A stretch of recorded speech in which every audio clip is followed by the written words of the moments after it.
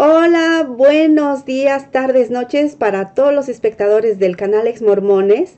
Aquí estamos con una visita relámpago de un ex mormón que nos va a comentar varios aspectos de su vida en la iglesia. Y bueno, es una reunión, como decimos así, relámpago que se ha presentado y claro, obviamente no puedo desperdiciar la oportunidad. Y aquí estamos hablando con un amigo de Chile y voy a dejar que él mismo se presente y, bueno, vamos a empezar a intercambiar opiniones y esperar gustosos de que nos va a compartir su historia. Hola. Hola, buenas tardes, buenas noches, buenos días. ¿Qué tal? Ah, muy bien. Bueno, cuéntanos cuál es tu nombre, de dónde nos llamas. Yo me llamo Eduardo Andrés Silva Manrique, tengo 38 años de edad, soy soltero, nunca casado, sin hijos. Eh, vivo en una comuna de Chile que se llama Hualpén, en una población que se llama Parque Central, una población muy y trabajo, soy dibujante técnico, estudio también una carrera nocturna, una carrera de ingeniería. Qué bien, qué bien. Estupendo, Y, estupendo. bueno, yo estoy disponible para todo lo que usted me pregunte. Muy bien, genial. También he sabido que has compartido tu historia en el canal del amigo Elías Lebrón, Melquisedec. ¿verdad? Voy a dejar...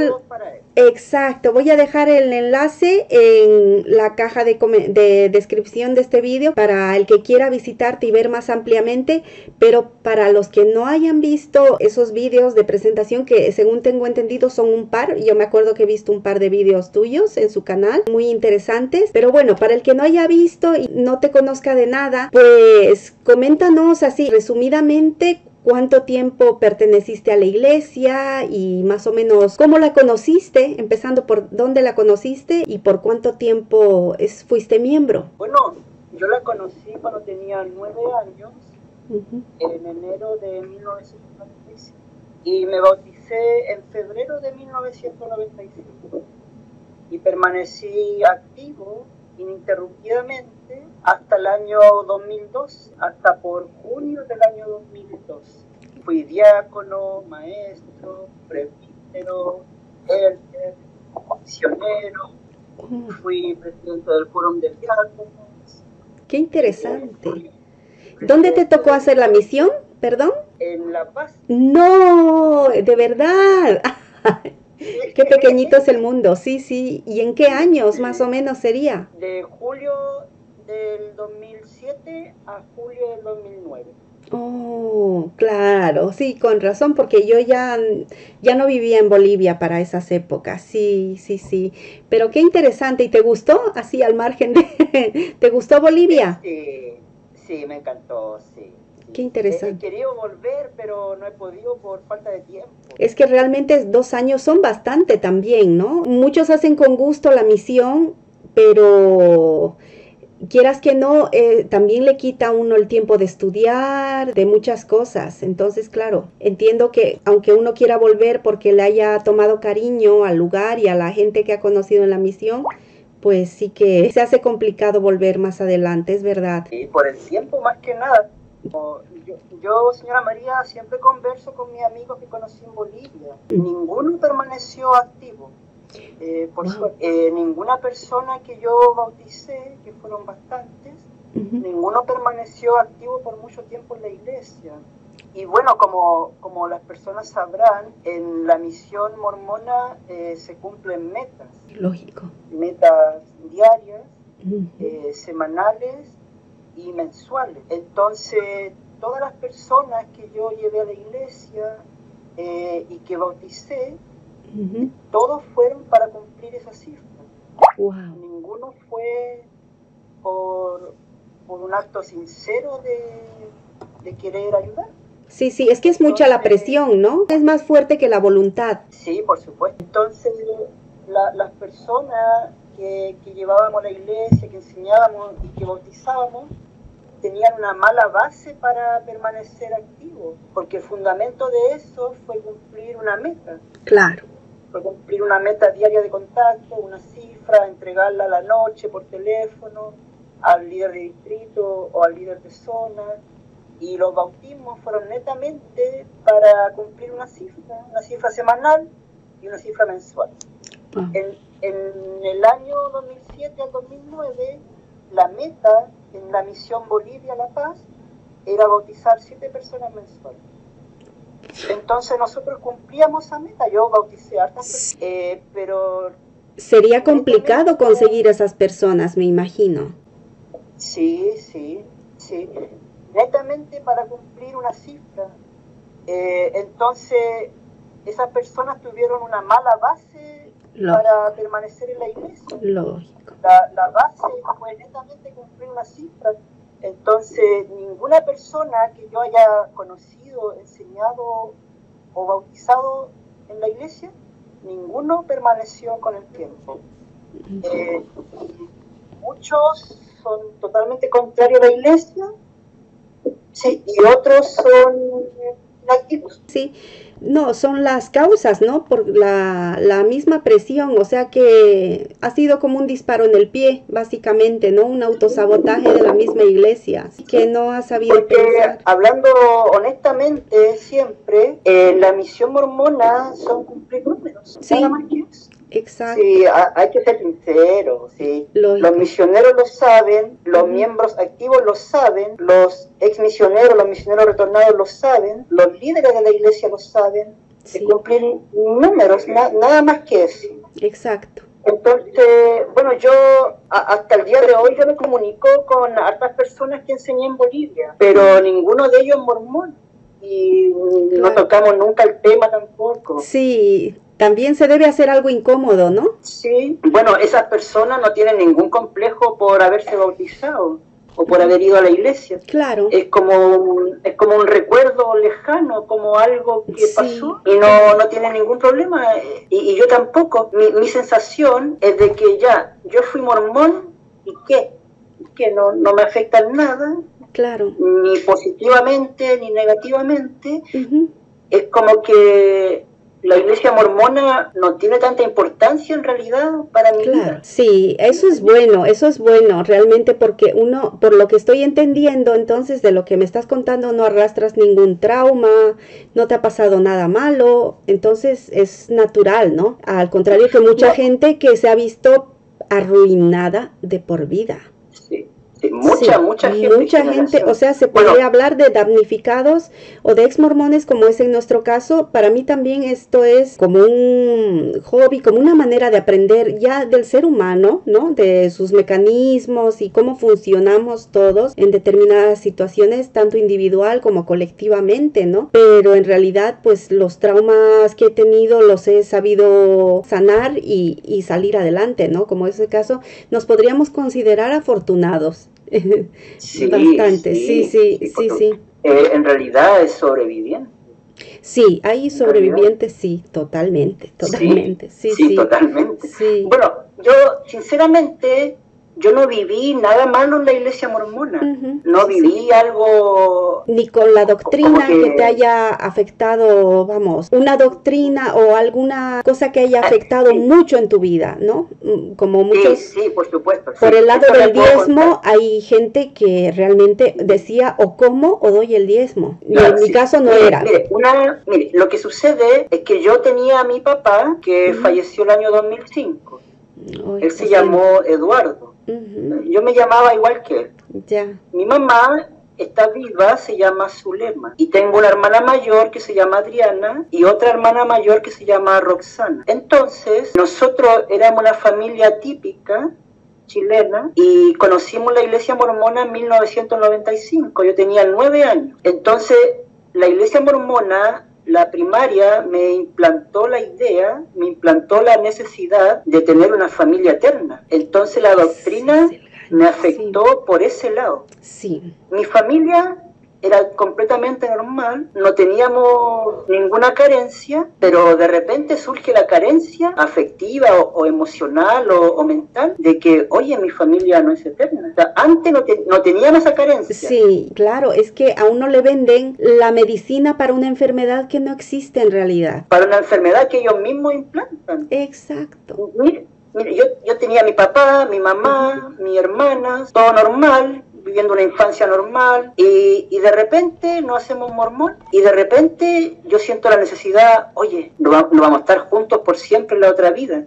O mi papá va a estar separado de mi mamá. Entonces yo como niño de 9, 10 años, 11 años, empecé a sentir esa presión en mi mente, esa, ese estrés, esa angustia, esa pena, y de esa forma me afectó la iglesia mormona. Pero yo en ese momento no me daba cuenta bien de lo que estaba sucediendo de cómo se me estaba agrediendo. Eh, eso lo entendí años después, cuando ya uno crece y entiende la, la, vida de otra perspectiva y entiende muchas cosas que antes no entendía. Entonces ahí empecé a ver en retrospectiva de que yo en 1994, mi familia completamente normal. En marzo de 1995, oye, tenemos que sellarnos, tenemos que ir al templo Santiago, nos vamos a estar separados cuando muramos, no vamos a estar juntos por siempre. Entonces la iglesia y sobre todo la primaria, la maestra primaria que se llama Leopoldina Urrutia y Dolores García y Minerva Molina, las tres me implantaron la idea de que yo tenía esa necesidad de llegar a tener una familia eterna. Entonces, así me empezó a afectar la iglesia mormona con angustia, con pena en mi mente, claro. orando, oye, por favor, que se selle mi papá con mi mamá, que yo me selle a ellos. Y, y, y antes, unos meses antes, no tenía esa carencia. Claro. Ni siquiera me lo No tenías esos miedos. Claro, miedo, miedo a, qué va a pasar la próxima vida, vamos a estar separados, no nos vamos a ver. Una vez en una clase de tiempo de compartir de la primaria, yo le pregunté a la señora Leopoldina eh, si en la otra vida, en el mundo de los espíritus, no íbamos a ver con nuestra familia. Eh, no me acuerdo la respuesta porque fue hace mucho años. Eh, pero yo recuerdo que le pregunté eso porque yo ya empezaba a tener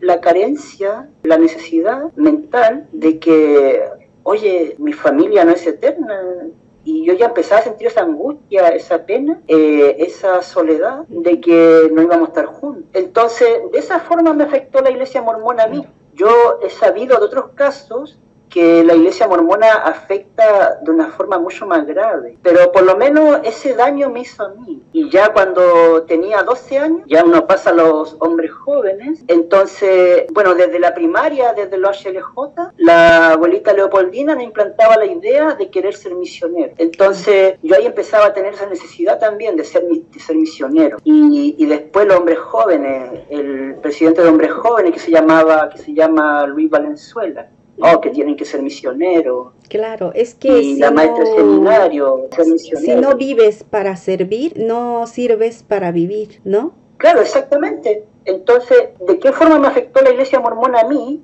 Me implantó necesidades que yo antes no tenía y que en realidad no, no necesitaba de esas cosas. Antes de ser mormón, yo estaba bien con mi familia. Después de ser mormón, tengo esa necesidad de querer ser sellado, tener esa meta, Luego de servir a la tener misión. ese temor. Y después, ya cuando uno es diácono, ya, oye, tengo que ser misionero, Claro. tengo que portarme bien para llegar a ser misionero. Pasas del miedo a la culpa, ¿no? Porque las ganas de ser misionero, sino qué pasa si no haces la misión. ¿Cómo te Claro, vas a sentir después? Claro. ¿Qué va a pasar luego? Claro, no pasa nada, te dirán no pasa nada, no estás obligado, pero el Señor se congratula y bueno, tienes la responsabilidad de predicar el Evangelio a toda criatura, una serie de cosas Sí. que realmente se hacen Sí, una el- carga. El, el presidente de hombres jóvenes nos implantó esa idea de que teníamos la necesidad de propagar el mormonismo a toda la gente, como que nosotros teníamos ese deber. Entonces, así me afectó la iglesia mormona. Pero, señora María, yo le quiero aclarar de que por ese tiempo, por 1996, a los hombres jóvenes se les decía de que la misión era un deber sí o sí Mira tú. de que era, era un deber, eh, era un deber servir en la misión. Ese procedimiento con los años cambió. Después se les dijo, cuando yo ya salí de los hombres jóvenes, a, a los nuevos hombres jóvenes se les dijo que no, que la misión era un privilegio, que era voluntario, pero antes yo me acuerdo claramente que era un deber. Eh, para los hombres era un deber, eh, para las mujeres no, era voluntario, pero sí, cuando yo recién llegué a la iglesia, en la primaria y en los hombres jóvenes, sí, Claro. sí era un deber, era como, Sí, sí. era como hacer la misión sí o sí. Sí o sí. Y, y pasan los años, voy a la misión y ¿de qué me doy cuenta? de que era cumplir números. Nada más que eso. Nada más. Si los misioneros lo saben, los, líderes de la misión, todos lo saben. Todos lo saben. Es que uno se debe ver presionado, ¿no? porque dirían si no, todas las respuestas, no, no he logrado bautizar a nadie.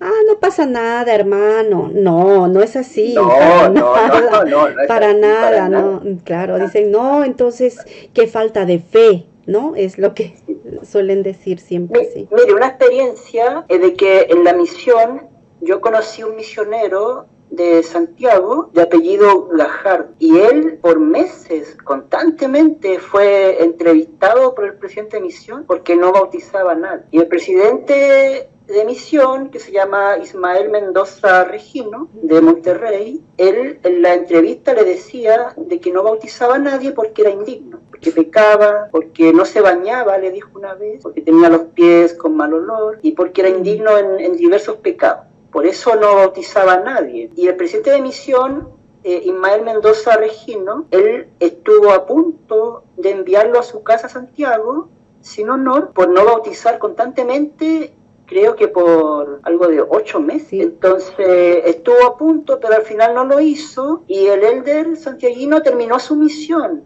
con honor. En su último testimonio dijo, mi misión no fue bautizar, fue enseñar. Eh, pero yo me acuerdo claramente de él, de que él, era todos los meses de por qué no bautizaba, por qué no cumplía el número. Entonces, mire, yo sinceramente fui bautizado en febrero de 1995 por dos misioneras que se llaman Rocío Núñez y Rosa Álvarez. Fui bautizado por ellas para cumplir el número, nada, para cumplir la cifra. Sí, e, eso es sinceramente.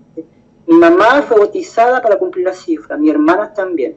Mi papá no se bautizó y ahí se generó una división que antes no estaba. Eso. Entonces yo me pasé mi infancia, me pasé mi infancia, mi adolescencia, mi preadolescencia con esa necesidad que antes no tenía de querer bautizar a mi padre, de que no íbamos a estar juntos, de que mi papá iba a estar en el reino celestial, yo no sabía dónde, no sabía si en el reino terrestre a lo mejor, no me consideraba digno para el reino celestial. Entonces uno, cumple los requisitos, esa perfección, sí. Y bueno, en la primaria mormona y en los hombres jóvenes, a usted se le implanta la idea de que José Smith era perfecto. Sí, a día de hoy, bueno, sí, vamos ya las cosas que sabemos que en ese entonces ni se nos pasaban por la cabeza, es más, nos hubiéramos horrorizado de saber las cosas que ahora se saben, ¿no? Mire, si yo yo la imagen mental que tenía de él, que él era un santo. O sea, sí, sí. Literalmente. Esa era la idea que a mí se me implementó. Sí, que él era, pero y un que mártir. estaba aquí, estaba acá. Claro. Y un mártir, ¿no? Por eh, cómo lo mataron, cómo fue perseguido por sus creencias. Porque siempre era el cuento de sus creencias, no era por haber sido polígamo, no, no, no, no. Eran sus creencias, claro. Sus creencias. Mire, si en la primaria mormona, Leopoldino Rutia nos implementó la, nos implantó, perdón, la idea de que José Smith había sido perseguido por sus creencias, así de simple. Entonces, no, bueno, bueno, bueno. Claro, sí. Y, y, en algún momento, cuando uno ya empieza a leer más, cuando yo ya era presbítero y estaba más avanzado, leí el libro eh, La fe precede al milagro. Ah, Entonces ahí en ese libro del, del, profeta Kimball, ahí el profeta Kimball explica de que José Smith fue uno de los creadores de este planeta. Uy, yo no me acordaba ya de eso. Entonces, ¿cuál es la idea que yo tengo de José Smith cuando soy presbítero, cuando tengo 16, 17 años? José Smith está, pero aquí. Oh, sí, sí. Eh, eh,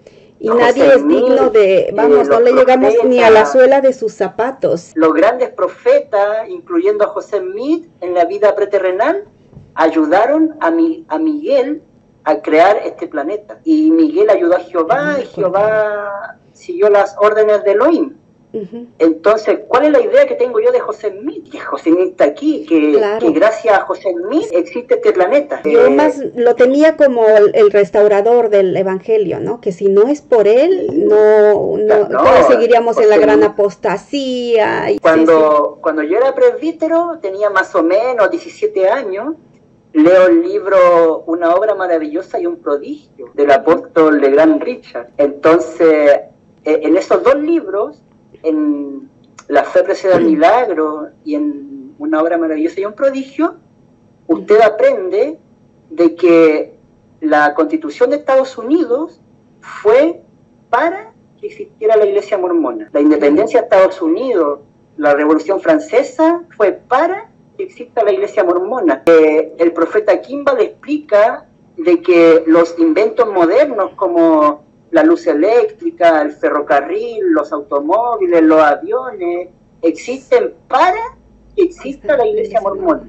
Claro, es que Estados Unidos, claro, la tierra prometida, claro. Claro, de, que el mundo moderno eh, existe tal como es para que la iglesia mormona existiera hoy en día. O sea, a ese nivel, a ese nivel estaba yo. José Smith, uno de los creadores de este planeta, a ese nivel. Eh, la luz eléctrica, el internet. Bueno, el profeta Kimball no lo dijo el internet, pero, se infiere. El internet, la, la televisión, él dice la televisión, la radio existen para que, exista la iglesia mormona hoy en día. Que ha sido una conjunción de cosas que han propiciado, ¿no? La restauración del evangelio, está todo, armado, claro. para la iglesia. Por ejemplo, Estados Unidos es la potencia mundial que es para que la iglesia mormona exista. O sea, a ese nivel, la potencia mundial que es Estados Unidos es para la iglesia mormona. No, no sé si me entiende la idea que quiero. No, sí, sí, solo que es a día de hoy resulta,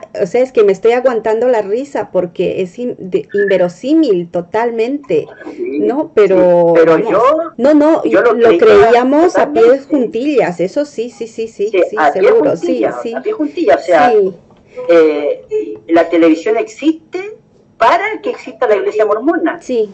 Sí, eh, los inventos modernos. Claro. Ahí se me implementó esa idea al yo leer una obra maravillosa y un prodigio y al leer eh, La fe de del milagro. Mm. O sea, yo estaba a ese nivel. Claro, un tejido, sí, de... Se plantó la idea de amar a Gordon B. Hinckley. O sea, yo lo, lo amaba, lo amaba. O sea, Gordon B. Hinckley era, pero... Él era, pero un dios. O sea, literalmente, literalmente, o sea, yo, yo señora María, yo soñé con Gordon. Sí, sí, sí, sí, no, eso es a ese nivel, una idealización total, sí, totalmente idealizado, totalmente idealizado. Entonces, entonces, de esa forma me hizo daño la iglesia mormona a mí, pero hay otros casos que el daño es físico, o el daño es financiero, o es la pérdida de la familia. Yo no vivía esto. Yo tampoco. Esas cosas así no.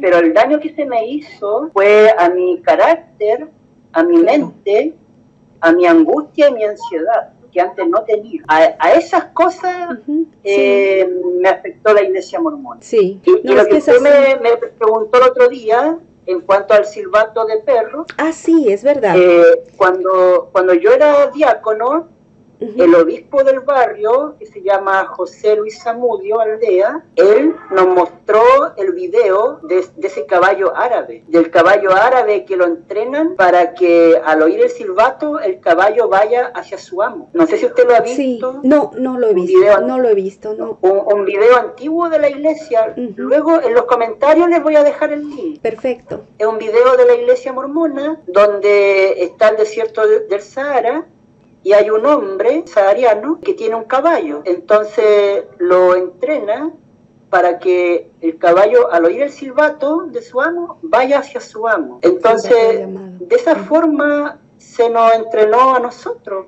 a, a los hombres jóvenes del barrio Cerro Verde, de la estaca Hualpén, que hoy es la estaca Talcahuano Sur. Claro, en, eh, en, mis tiempos, claro, el silbato de perro era que aprendamos a oír los susurros del espíritu. Y eso era como un autocondicionamiento, ¿no? De que cuando empecemos a pensar en ciertas cosas, claro, no, que el espíritu nos tiene que corregir para no desviarnos del camino y no tener pensamientos inapropiados, etcétera, etcétera, ¿no? Y ya en cosas personales, claro, es que era bastante obvio que todo lo que le comentabas al obispo en las entrevistas y todo, lo llegaba a filtrar de alguna manera para decirte, ah, yo es como que yo sé tu secreto y yo lo puedo desvelar. Y claro, uno tenía miedo, sí, de que todos se enteren lo que le habíamos dicho en privado, ¿no? Para los que no sepan de lo que estamos hablando, eh, Eduardo y yo, voy a dejar también los en el enlace el video de El silbato de perro que está en mi canal eh, Exmo María Magdalena. Y así van van a tener una idea así de, de, lo que estamos hablando. Y, y, bueno, demos un salto así un poco en el tiempo, Eduardo, y cuéntanos que, cómo te diste cuenta de la realidad de la iglesia. Ya no decir la verdad, ¿no? Porque la verdad, pues, cada cual tiene su verdad, ¿verdad? Pero la realidad de la iglesia o, o cuáles fueron los motivos por los que, bueno, estamos ahora hablando tú y yo como ex mormones. Mire, yo dejé la iglesia netamente porque se convirtió en una rutina para mí. Se volvió algo muy rutinario, muy tedioso. Entonces yo dejé la iglesia de un segundo a otro y no dudé. Y el día que yo dejé la iglesia mormona, ahí fui muy feliz. Y fue como alivio. una cadena.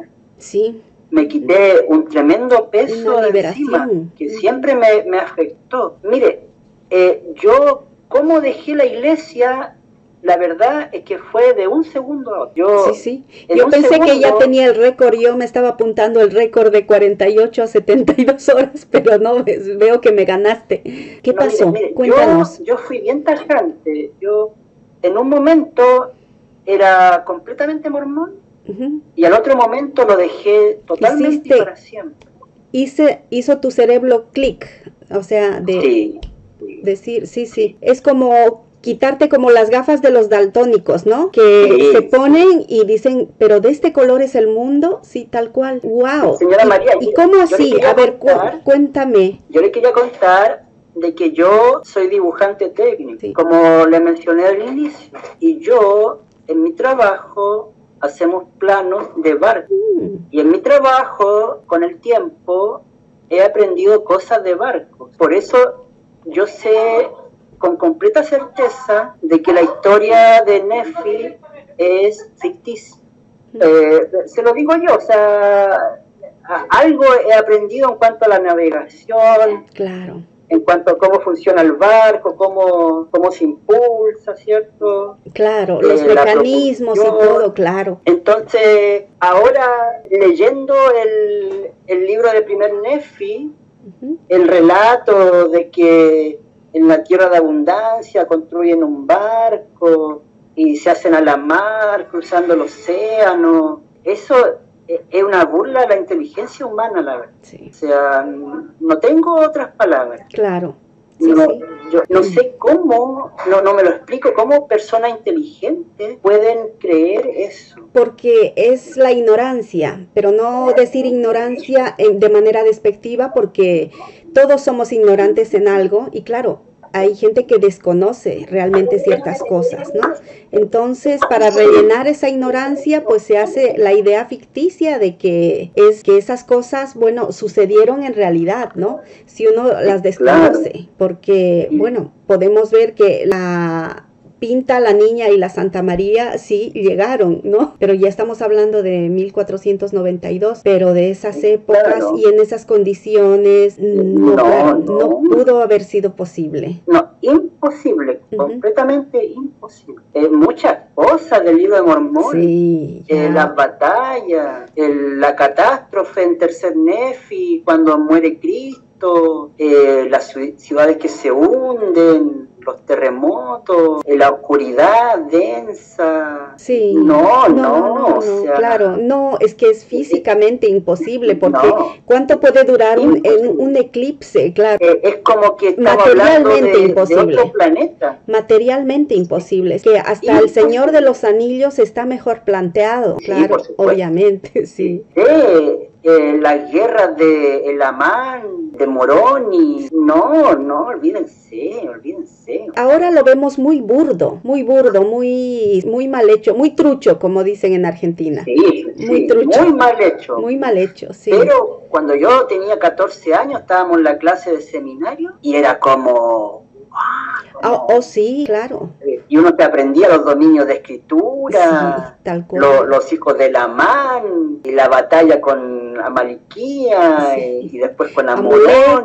Sí. Y después con Tubalón, Coriantum, llegando a Saraem. La... Y la tierra de abundancia, y que habían monedas, cenines. No, no bueno, una serie de cosas cero, que sí. Cero posibilidad. no, yo no sé la mente que tenía José Smith. Sí, muy retorcida, la verdad. Muy, muy retorcida. Mire, yo fui eh, a la misión en julio del 2007. Entonces, ahí es cuando usted eh, hace la ceremonia de investidura. Que yo no hice. Eh, entonces, yo fui de mi casa en Hualpén a Santiago. Y ahí en el templo en Santiago, en Providencia, en calle Pocuro, eh, en, el, en el barrio Providencia, entré al templo con la recomendación de investidura nueva, porque a usted le dan la recomendación tradicional y una recomendación cuando usted va por primera vez a hacer la investidura. Va con las dos recomendaciones. Entonces fui con las dos recomendaciones, me recibieron ahí y antes de iniciar el lavamiento, el presidente del templo en Santiago me llevó a su oficina. Era de noche. Y yo, señora María, esto lo tenía como mi testimonio más grande, como la experiencia más sagrada. Era como lo máximo. Pero esto que yo le voy a contar, esto no se va a quedar así. Esto yo lo voy a estudiar con psicólogos. Entonces, esa noche... ¿Qué pasó? Entré a la oficina del presidente del templo en Santiago y él me comenzó a hablar de qué se trata la investidura. Y mientras él me hablaba, yo vi cómo su rostro se transformaba al rostro del presidente Gordon Hinckley. Entonces yo en ese momento vi cómo el, el presidente Hinckley, en su rostro aparecía en el rostro del presidente del Templo Santiago, que no me acuerdo el apellido. Y eso yo lo tomé como un testimonio. Una transfiguración. Me estás hablando como una, transfiguración. El presidente Hinckley se transfiguró, se transfiguró, perdón, en el presidente del Templo Santiago y el presidente Hinckley me hablaba a mí a la distancia por telepatía, supongo. Ya es o sea, yo estaba a este nivel de sugestión. de, de sugestión, sí, muy sugestionados, muy sugestionados. Sí, muy, o sea, yo, yo estaba sí, a sí, ese, sí, yo, sí, yo, era a ese nivel de mormón. Entonces, yo... Eh, Eso sí que nunca lo había escuchado. Terminó la conversación con el presidente del templo y él me, me envió a la sala de lavamiento, de unción, eh, al, camarín a cambiarme ropa, a ponerme ese, ese traje semitransparente que se le pone en la iniciatoria. Y luego pasé a la iniciatoria, y luego a la sesión de investidura, con la película de la creación del mundo y todo eso. Y cuando yo ya salí del templo, yo salí con ese testimonio de que había visto a Gordon Hinckley en la persona del presidente del Templo de Santiago. Y para mí era como un testimonio sagrado, era como una experiencia espiritual en mi vida, pero divina. Yo estaba a ese nivel, para que me entiendan de qué estoy hablando. Pero esa experiencia no va a quedar ahí. Esa, esa experiencia yo la voy a estudiar con psicólogo. Esa, esa experiencia yo voy a develar qué fue en realidad. Esa experiencia no va a quedar ahí. Claro. La voy a estudiar profesionalmente. Es que es muy fuerte, sí. yo estaba adoctrinado a ese nivel. Sí, sí, claro, yo te creo. Para mí, desde, completamente. Desde que murió Howard Hunter y después fue Gordon Hinckley, en los hombres jóvenes se nos implantó la idea de amar a Gordon Hinckley a ese nivel. yo cuando era diácono, yo, y, y, esa, y esta experiencia que le voy a contar ahora, tampoco va a quedar así. Esta experiencia yo también la voy a estudiar con psicólogos profesionales. Es que hay que desentrañarlo para entenderlo. Yo cuando era diácono, yo sentí el espíritu de José Smith al lado mío acompañando. Entonces yo estaba a ese nivel de, estresado. Yo era mormón a ese nivel, o sea, a ese nivel de experiencias espirituales. Sí. A ese nivel de testimonio, con el espíritu de José Miguel al lado mío, acompañándome y protegiendo. Y... Con Gordon Hinckley transfigurándose en el rostro del presidente del Templo Santiago. De esta forma me hizo daño la iglesia mormona a mí de, esa manera Eh, hay otras personas que el daño es diferente. Sí. Pero eh, para aclarar bien todo esto, ¿has tenido alguna experiencia similar que te pase con otros personajes de tu entorno, bien sea políticos o líderes de, o, gente del trabajo o algo, que te haya pasado algo similar a lo que te ha pasado con Gordon B. Hinckley y con José Smith? Sí, mire, cuando yo tenía 12 años de edad, fui al templo de Santiago y me bauticé por un tío mío. Un tío mío que había muerto en enero de 1991. Y yo, cuando me bauticé, yo sentí el espíritu de mi tío al lado mío agradeciéndome porque había hecho el bautismo. Ah, o sea, yo estaba a ese Claro, sí, a lo que voy es que todo esto está relacionado con la iglesia. Para que no digan, eh, o sea, lo que estoy pensando ahora es que la gente puede decir, no, es que a lo mejor es un rasgo esquizofrénico y él le pasa con mucha gente, pero tú me estás confirmando que todas las experiencias que has tenido están de alguna u otra manera vinculadas con la iglesia. Sí, con la iglesia directamente. Eh, no, fuera de la iglesia mormona. No. es que te pase con, eh, con el rector de la universidad, digamos, o con... A eso, eso es lo que... La diferencia. No, porque mi, no, mi, mi, el centro de mi vida, desde que tenía 12 años, fue eh, literalmente la iglesia mormona. Eh, yo tenía 12 años y la única música que me gustaba era los himnos de la iglesia. ¡Wow! No, eso ya es mucho. Entonces, entonces mi vida giraba en torno a la iglesia mormona. Así me dañaba. Yo no lo entendía en ese momento. Claro pero después entendí cómo se me dañaba a mí la vida. después, después no lo entendí, años después. Es que es, eh, en la ceguera, lógicamente el ciego no ve. Claro, cuando ya ve es cuando ya se da cuenta. mire, Gordon Hinckley vino a Santiago un cierto año, no, no recuerdo con exactitud del año, pero aproximadamente 1997, aprox, puede ser un poco después, tal vez, o un poco antes, tal vez. Pero más o menos, más, más o menos por esa fecha. Y vino al Estadio Nacional en Santiago y, y estaba llovinando. Y yo vi y escuché cómo Gordon Hinckley pidió que dejara de llover y dejó de llover y se despejó el día. O sea, a ese nivel, yo, yo era mormón a ese nivel. Yo, cuando yo digo que yo amaba a Gordon Hinckley, créanme es literal, claro, es literal. Literal, Gordon Hinckley, yo amaba a Gordon Hinckley, lo digo muy en serio, amaba a José Smith, lo digo muy en serio. O sea, José Smith fue uno de los creadores de este planeta, o sea, en serio, o sea, no es broma. Claro. Gordon Hinckley pidió que dejara de llover en Santiago y delante de, las 60.000 personas que habían ahí, dejó de llover y se despejó el día. Y cuando terminó la reunión en, el Estadio Nacional de Santiago, eh, volvieron las nubes y empezó a llover, a, a lloviznar, y mientras nos retirábamos del estadio, empezaban a caer las primeras gotas después de la reunión. O sea, a ese nivel me dañó la iglesia mormona. ¿Me, entiendes? Con ese nivel de experiencia. Sí, sí. Gordon Hinckley transfigurándose en el, en el, en el presidente del Templo Santiago. José Smith en su espíritu acompañándome, protegiéndome cuando yo era un preadolescente. Gordon Hinckley mandando a la lluvia que dejara de llover. O sea, a ese nivel.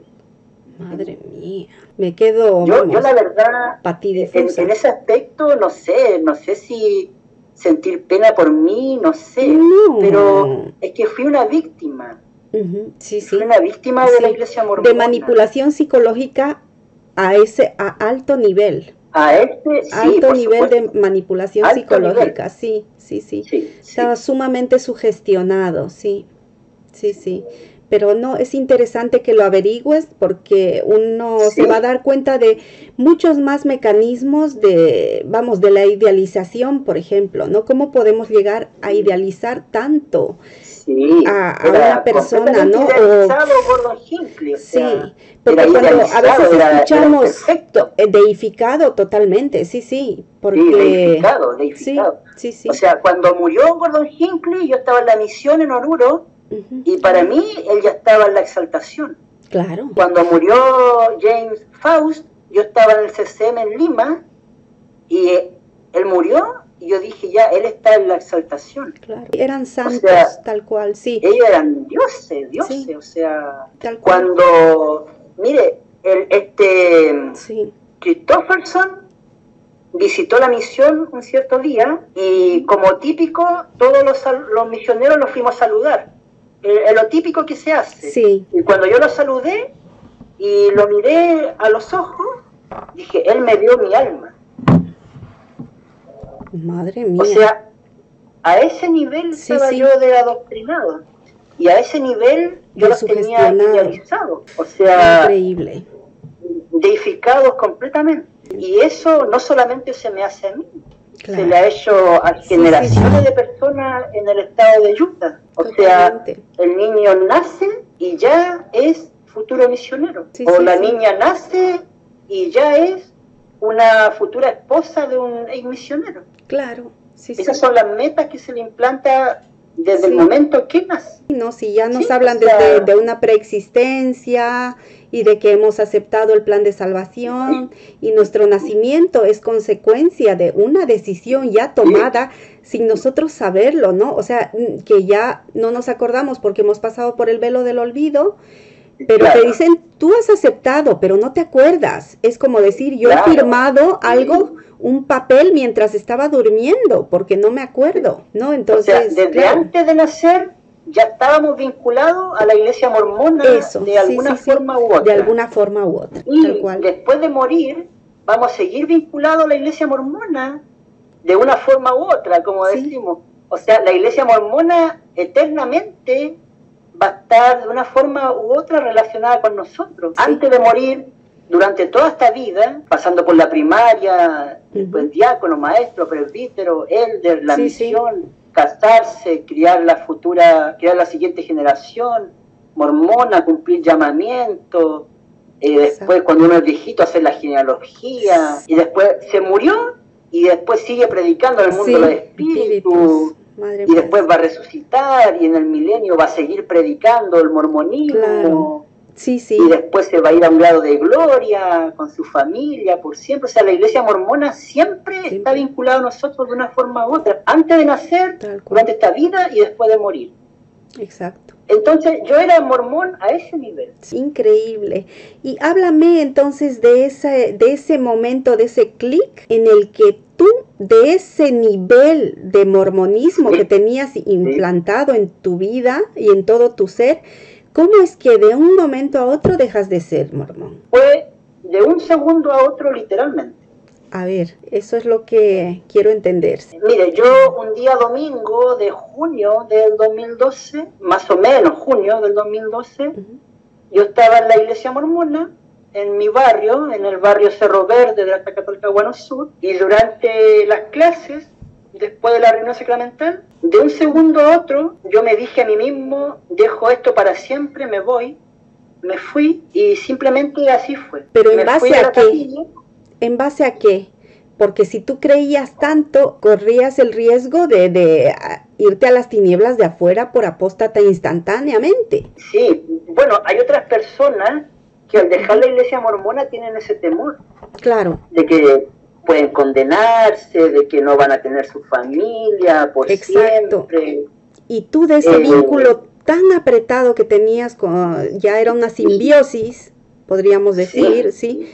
Que, no, no te asaltó ningún temor o al, al decir, bueno, me voy, pero ¿y las consecuencias? ¿Pensaste en las consecuencias? Porque vivimos todo el tiempo amenazados eh, de que si dejamos algo va a ser terrible, terrible, terrible. Yo, o sea, habían, cuando fui inactiva en la iglesia, por ejemplo, decía, si dejo dejo mi testimonio, que es lo único que me queda, aunque no practique, pero mi testimonio es lo único que tengo, ya me veía yo en una esquina así prostituyéndome, alcohólica, inyectándome así drogas, o sea, lo peor, ¿no? Entonces...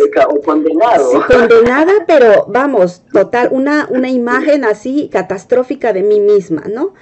Entonces, ¿a ti no te asaltaron esos temores? No. ¿Por qué? Mire, yo los únicos temores que tuve fue cuando niño y cuando preadolescente en cuanto a de que no iba a tener mi familia eterna, en cuanto a de que íbamos a estar separados, unos en una gloria, otro en otra, gloria. Ese fue el temor y la angustia que yo tuve. y tuve esa necesidad de querer sellar mi familia para toda la eternidad. Y estaba nervioso en cuanto a eso, claro. pero eso duró, eso duró más o menos hasta que yo tenía 14 años. Ah, no fue un pensamiento permanente en toda tu estadía en la iglesia. Eh, no. Ah, vale, vale, vale, Luego, luego lo acepté y, no me hice ningún problema en cuanto a no tener una familia eterna. Luego, cuando ya 15 años, 16 Te resignaste, digamos. Sí, me resigné, sí. sí.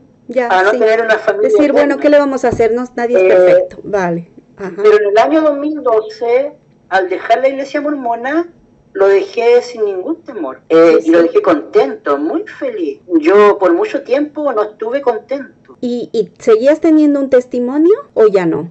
Eh, de un segundo a otro, no. Es que yo no sé por qué. Eh, yo no sé psicología ni. claro. soy, nunca estudié Pero para continuar con lo que me estabas comentando al principio, que luego nos desviamos, o eh, digo al principio no, en medio de la conversación, que luego nos desviamos a Hinckley, me estabas hablando de los barcos, ¿no? Y de que ya viste que era materialmente imposible que el libro mormón fuera real, ¿no? Entonces yo creo que ahí ya estaba muriendo tu testimonio, ¿no? Y ya te diste cuenta de que no podía ser materialmente, era materialmente imposible, y ahí yo creo que ya tu testimonio caput, sí. Es que, estas cosas, en cuanto a la imposibilidad del viaje de Nefi, a la imposibilidad de las guerras de El Amán, Exacto. O de la guerra de, de, Alma y de la Man, o la imposibilidad del, terremoto en tercer Nefi. Esas cosas yo las comprendí y las aprendí años después de dejar la iglesia mormona. Mm. Eh, cuando, en, ese momento en que dejé la iglesia mormona, la verdad no me importó, no me importó si fuera verdadera o no o no me importó si el libro mm. mormón fuera verdadero o no. se pone más interesante, sí, sí. Dijiste, Simplemente hasta aquí llegué, claro, hasta aquí llegué. Sí, sí. Y otra idea que se me implantó durante los hombres jóvenes era como que si yo dejaba la iglesia, lo iba a perder todo. Sí. Eh, era como que mi vida se acabó sí. después de dejar la iglesia mormona. Exacto. Esa idea también también se me implantó durante los hombres jóvenes. Me la implantó el presidente de hombres jóvenes, que se llama Luis Valenzuela Urrutia, que era el hijo de la maestra primaria, que se llama Leopoldina Urrutia, y ella era la esposa del presidente de la rama, que se llama Luis Valenzuela. Entonces, ellos, eh, sobre todo Luis Valenzuela, me implantó la idea, mientras yo era diácono, maestro, presbítero, de que si yo dejaba la iglesia mormona, toda mi vida se acabó, no había nada más, iba a estar triste por siempre, en algún momento también se me mostró otro video de Brigham Young, de que Brigham Young está en una reunión y llega un ex apóstol a pedir de que lo readmitan en la iglesia. Que si no me equivoco era el, Lehman Johnson, si no me equivoco. Entonces llega el ex apóstol y pide que lo readmitan en la iglesia y el ex apóstol, ex miembro, dice, estoy triste desde que dejé la iglesia, no tengo nada. Y Brigham Young y otros mormones no lo aceptan. Y el ex apóstol y ex miembro se va de la reunión, se va del edificio hacia su carruaje y se ve como todo oscuro, lloviendo, así como el ex apóstol con, una capa negra. Con una capa negra, así era un video de seminario de estos antiguos. Entonces, el ex apóstol, que si no me equivoco era Lyman Johnson, si no me equivoco, eh, se ve como su silueta como borrosa, como borrosa yéndose. Claro, que, se va difuminando, ¿no? Sí. Entonces, ese era el mensaje que a mí se me implantó, claro. el presidente de hombres jóvenes me lo implantó. Entonces, yo eh, noté eh, en ese momento que yo dejé la iglesia mormona, yo noté de que se me había engañado, noté de que no era cierto lo que se me había implantado, de que si yo dejaba la iglesia mormona, se acabó toda mi vida, iba a estar triste, no tenía nada, no iba a progresar, eh, no, era como que mi vida se acabó. Yo noté que esa idea había sido falsa. Qué increíble. Y bueno, ahora ya sé que sobra la pregunta, pero veo que después de, la iglesia ya tu vida ha mejorado, ¿no? Vamos. Eh... Sí, no, por supuesto. No, mire, que después de la iglesia yo estudié una ingeniería hace tiempo y, bueno, con lo difícil que es una ingeniería. Ahí fue cuando aprendí la imposibilidad del libro de Mormón, la imposibilidad del barco de Nefi, la imposibilidad de la espada de acero de Nefi, de, de Labán,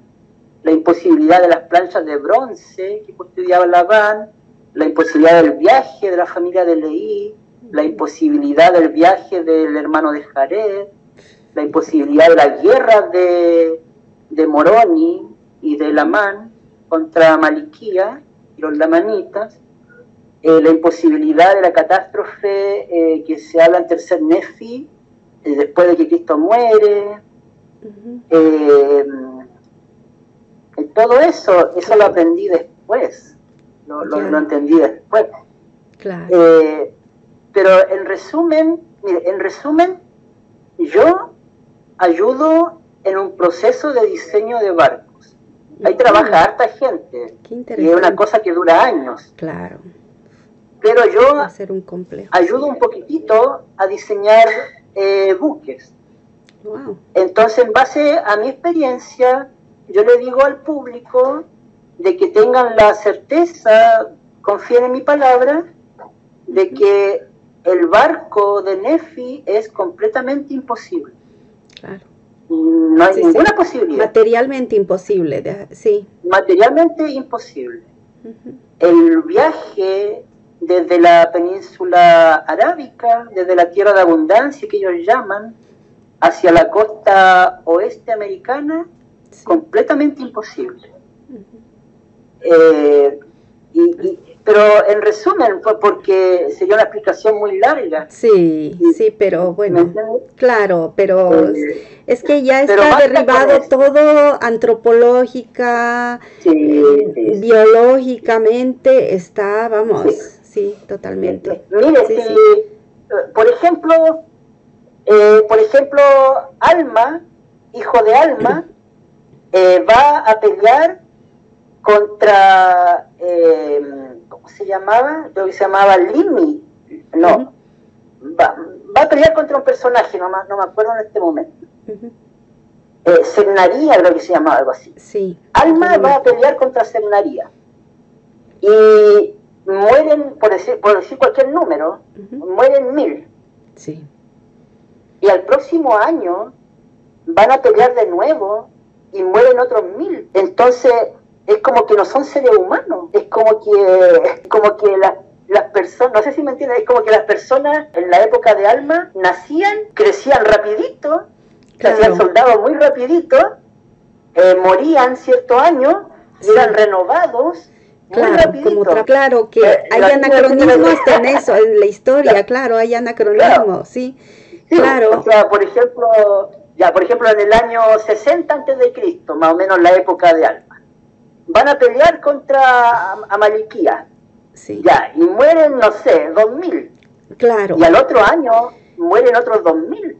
Claro, y dice de cuánta gente constaba la población allí, claro. Claro. Sí, sí, sí. es como que Sí. No, hay una, una, natalidad y una mortalidad. Claro, demográficamente imposible, podríamos decir, totalmente. La, la, población, la población del libro mormón. Sí, sí, sí, de millones de muertos, sí. Y que no han dejado ninguna evidencia. Sí, o eh, Alma Padre escapa de los sacerdotes de, del rey Noé y empiezan a construir una, una ciudad. Claro. Eh, yo, yo estudié ingeniería en construcción. Entonces yo le, le digo, tenga la certeza de que ese relato de que Alma Padre, cerca del agua de Mormón, empieza a construir una, una ciudad, es completamente falso. Eh, y, bueno, después la, la, compañía de Alma Padre llegan a la tierra de Saraemla y se unen al rey Mosía. Eh, pero los relatos del libro de Mormón eh, son ficticios. Sí. O sea, completamente. Sí, sí, Cada relato. Es que están copiados o plagiados de libros de fantasía, ¿no? que sus verdaderos autores los habían planteado como libros de fantasía. Por ejemplo, las historias del Capitán Kidd. El Capitán Kidd, que era un personaje, ¿no? Como, vamos, sí, sí, es que, ¿no? si, están basados en, en ideas de fantasía y en leyendas o en historias de fantasía, normal que no cuadren y, en cierto punto se tiene que notar. Y los escritores de estas cosas lo notan y para que Mark Twain diga que es cloroformo impreso, el libro de Mormón, pues, pues es que, vamos, ¿quién mejor que él, no? para que pueda dar una calificación así. Claro, yo no sé eh, qué se aprende del libro de Mormón se aprende eh, que las playas son verdaderas. repetidamente se le dice recordar que las playas son verdaderas y lo dice a cada rato. Sí. Eh, y hasta el final recuerda que las playas son verdaderas. Es que era la necesidad de José Smith de reafirmar eso, ¿no? De decir, eh, porque lo dice el libro, es verdadero, ¿no? Claro. ¿Y por qué es verdadero? Porque lo dice el libro. Sí, sí. Y lo dice a cada rato. Claro. Lo dice en palabra de mormón, en, en mormón, en morón y recordar. Es como es eso, como de que dime de qué presumes y te diré de qué careces. Esa insistencia en meterle a la gente de que es real, es real, es real. ¿Y, y en qué desemboca eso? En que cada domingo de ayuno y testimonio subamos todos. Yo sé que la iglesia es verdadera porque yo sé que el libro de Mormón es verdadero porque lo has leído en el libro de Mormón. ¿no? claro, porque uno la leyó en el libro de Mormón. Claro, sí, sí, sí. sí. Entonces, no sé. Sí. mire, mi, mi experiencia fue de que se me implantaron necesidades y angustias que yo antes no tenía y que luego mágicamente tenía esa necesidad. De tener un testimonio, de tener una familia eterna, de ir a la misión, de, tener sacerdocio mayor. Son cosas que yo antes no necesitaba y que luego hoy, hoy tengo que tener todo esto. ¿Y qué, qué, les dirías a la gente que nos está viendo ahora y si cae algún miembro de la iglesia, porque ya se, se ofenden cuando les decimos mormones, ¿no? Eh, si nos estaría viendo un miembro de la iglesia, ¿cuál sería tu mensaje? Bueno, que no tenga miedo, que no pasa nada por dejar la iglesia mormona, que la iglesia de Jesucristo de los santos días, perdón, perdón, que no pasa nada, que no se condena a nadie, no muere nadie, y de que mi experiencia es de que la iglesia mormona me hizo ver de que la iglesia mormona era sumamente importante para mí. Era como que la iglesia, la iglesia azul, perdón, sí. era como lo más importante para mí. Esa es la idea que la iglesia me implantó y que le implanta a cada persona. Pero usted al, al, abrir los ojos ve de que en realidad la iglesia no era tan importante como uno creía. Exacto. La iglesia no era tan céntrico en mi vida como yo creía. Yo no dependía de la iglesia. Eh, No fui ni mejor ni peor persona por dejar la iglesia mormona. Y no, no me fuiste mejor ni peor persona estando en la iglesia si hacías cosas buenas, era por miedo a, castigos, ¿no? Ahora, eh, si uno hace cosas buenas estando fuera de la iglesia, es porque están bien, ¿no? No por el miedo a, una condenación. Otra experiencia, tuve otra experiencia más o menos por el año 2010. Sí, sí, más o menos por el año 2010. Yo conversé en privado con el obispo nuevo, se llama Jorge Navarrete Jaque. Y de esa conversación en su oficina, yo lo único que rescaté era de que él tenía miedo a perder cosas por dejar la iglesia mormona. Jorge me decía, oye, si uno deja la iglesia mormona, pierde esta bendición y esta y esta, y pierde su familia eterna.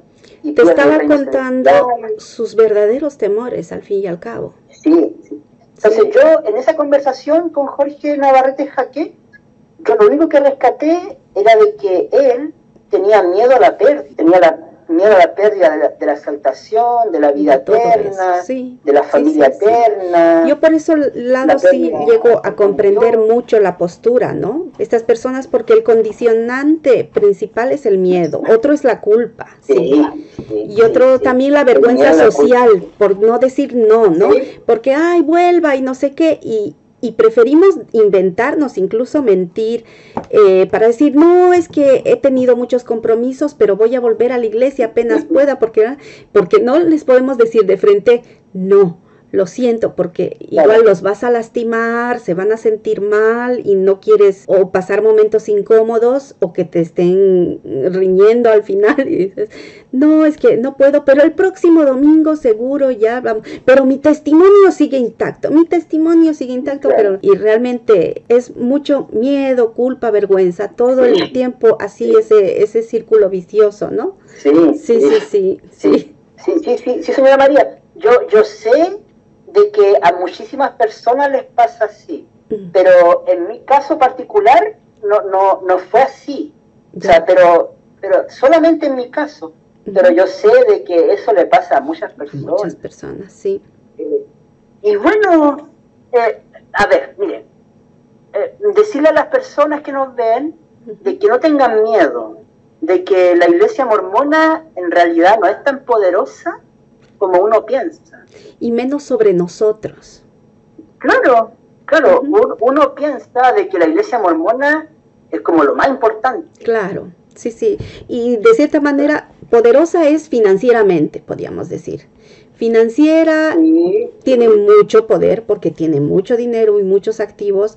Socialmente, ya no tanto porque ya no tiene la fama que tenía antes, ya todo, el castillo de naipes se está cayendo, ya no es de buena reputación ser mormón o ser miembro de la Iglesia de Jesucristo de los Santos de los Últimos Días, antes era lo más, o sea, eras un privilegiado, incluso de estatus social decías, oh, yo soy mormón y todos, oh, qué puro. como el buen empleado. Sí, sí. Eh, intachable, impoluto, sí, sí, ahora eso ya, ya nada, sí. Entonces... Mire, acá en Chile eh, y en Argentina, en Chile y en Argentina, la iglesia mormona ha comprado terrenos extensos eh, para el cultivo de aceite. Yo, bueno, si tengo tiempo en el verano, me gustaría hacer algunos videos en cuanto a las propiedades mormonas. Ay, por favor han comprado terreno, eh, le, han comprado acciones a una empresa grande que se llama Aristía, que es una empresa multinacional sobre la fabricación de, aceite y, pollos, eh, productos alimenticios. Ahí se mueve la Iglesia Mormona ha comprado activos y acciones a Aristía. Mm. Eh, ¿Dónde más crece? Bueno, compró el terreno del templo en Concepción, eh, compró un terreno en, Antofagasta, en el norte de Chile, pero a mí lo que me llama la atención es de que estos últimos años en Antofagasta ha crecido las tomas de, terreno para las personas que no tienen dónde vivir. Se han tomado terrenos para construir alguna casa básica de forma ilegal, ¿cierto? Y, y poder vivir ahí. Entonces, ha crecido mucho la toma de terreno. Eh, y me llama la atención, en, Antofagasta, y me llama la atención de que la iglesia mormona construya un templo justo ahí. O sea... Eh, Blanco y en botella, vamos. sí. los templos mormones en, Sudamérica, eh, el material vale más o menos unos 10 millones de dólares. ¡Wow! los materiales, la materialidad. Sí, sí, sí. Entonces, más o menos, tal vez un poco más, un poco menos, pero en promedio. Entonces, eh, comprar un terreno para construir 10 millones de dólares y que en, la misma ciudad de Antofagasta hayan multitudes de personas tomándose terrenos para construir viviendas mm. básicas, eh, media agua que se llama. Sí. Entonces me llama la atención esa contradicción. Sí, está eh, interesante. bueno, aparte los terrenos que he comprado para el cultivo de aceite, y en esos terrenos hacen EFI. Mm. Hacen esos paseos. Claro, y, jóvenes lo hacen ahí. Y reuniones de casamenteros y todas esas cosas, sí. Eh, aparte, mire, la, la capilla donde yo crecí, eh, la vendieron. Mm. Sí. la vendieron. Eh, mire, después le voy a mandar la foto okay. Eh, de, eh, la compró una empresa y construyó un edificio de vivienda. cuando había, cuando la vendían, había un tremendo letrero de se vende y yo pregunté al WhatsApp que estaba en el letrero a cuánto y me dijeron 450 mil dólares. Entonces seguramente, seguramente lo vendieron a eso, a ese precio.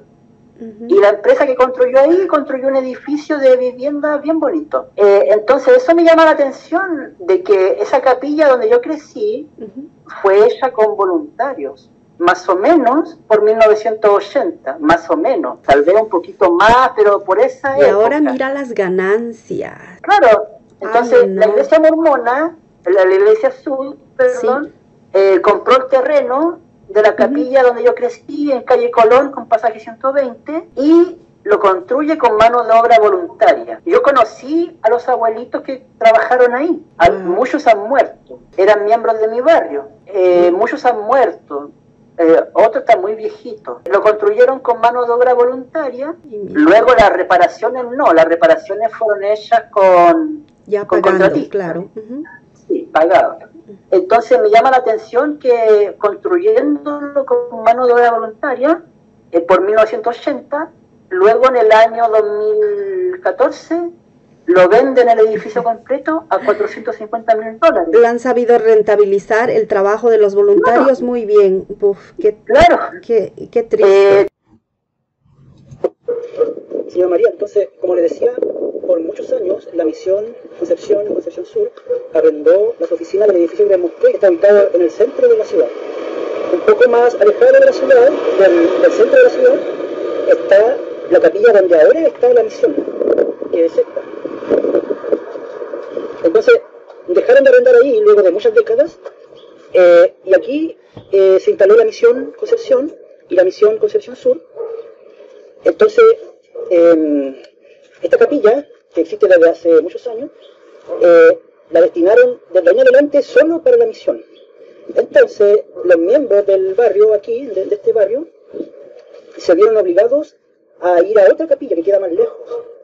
Entonces, el tema que quiero tratar es de que cuando uno tiene una capilla, uno se identifica con esa capilla.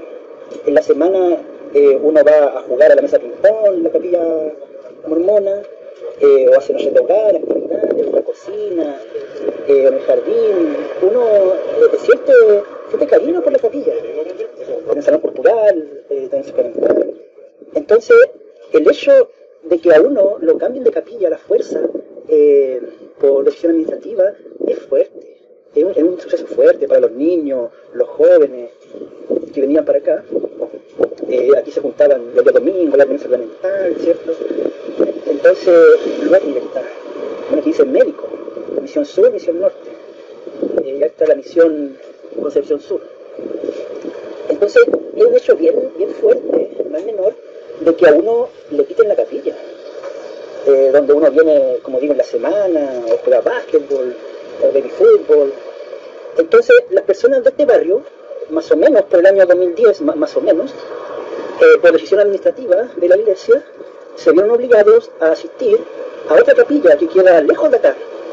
Y quiero que imaginen las personas a pie, los ancianos o los niños, las personas que no tienen automóvil, que viven por aquí y que son miembros de la iglesia, eh, el hecho de que tengan que, en vez de caminar hasta aquí, hasta la que era su capilla, tengan que caminar todo esto y quiero que me acompañen, por favor.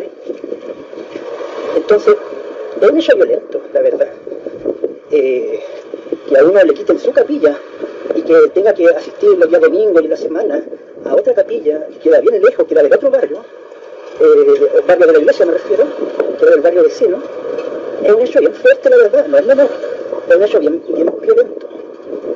Como nosotros hemos sido miembros de la iglesia, sabemos eh, que en la semana se hace mutual, o se hacía mutual, o la reunión de la sociedad socorro, eh, o las reuniones de coordinación, no sé, de, de presidencia de mujeres jóvenes, de hombres jóvenes, de, adultos solteros, de adultos solteros. Eh,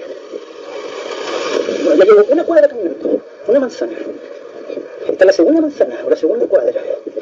Eh, y, y, y una semana se reúne en la capilla con sus amigos, y después que le quiten la capilla, que tenga que asistir a otra más lejos, eh, es un hecho bien violento, la verdad. Y en esos años, los miembros de ese barrio eh, dijeron, bueno, tenemos que ser obedientes, la revelación de la misión eh, del área Chile, tenemos que ser obedientes a los libros, a lo que diga el obispo, a lo que diga el presidente Estaca, a lo que diga el presidente del área, a lo que diga el profeta. Tenemos que ser obedientes y tenemos que eh, asistir todos los domingos a la capilla que yo voy a mostrar, que ya luego, esta es la segunda cuadra caminando. Yo soy joven, yo camino rápido, no tengo problemas. Pero imaginen las personas que les cuesta. Imaginen el invierno, con la lluvia, con el frío, el viento. Imaginen los investigadores, los nuevos conversos, que tienen que caminar de ese barrio, de ese barrio, a este otro barrio. La tercera cuadra. Se dijeron ya, se va a instalar la misión Concepción, la misión Concepción Sur, en esa capilla, así que los miembros del barrio ahora asisten aquí donde les voy a mostrar.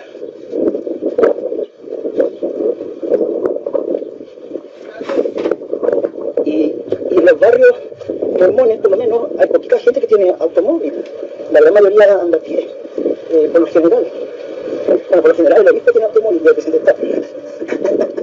y, Dios mío, por lo general. y los miembros no.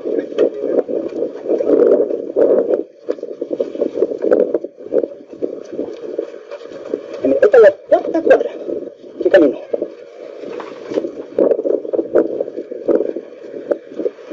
Esta es la cuarta cuadra que ustedes me acompañan caminando.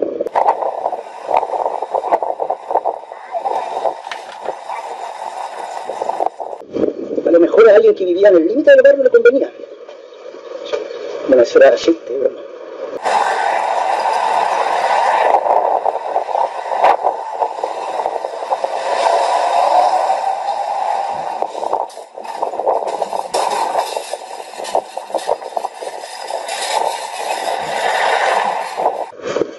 Quinta manzana, quinta cuadra.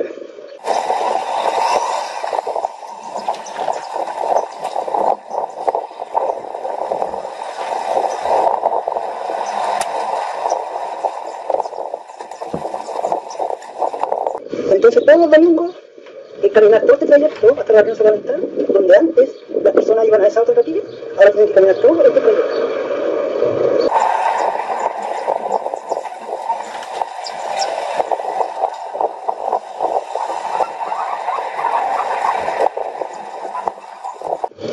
Sexta cuadra, sexta manzana.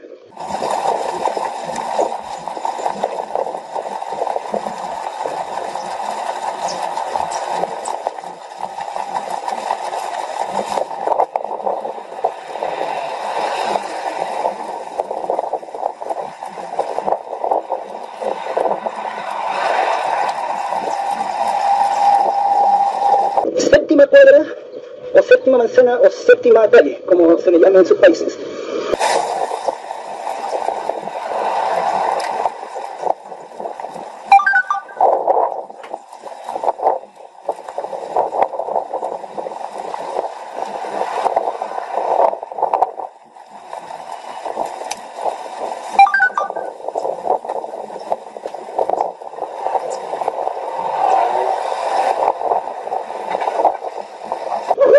manzana, octava cuadra, octava calle.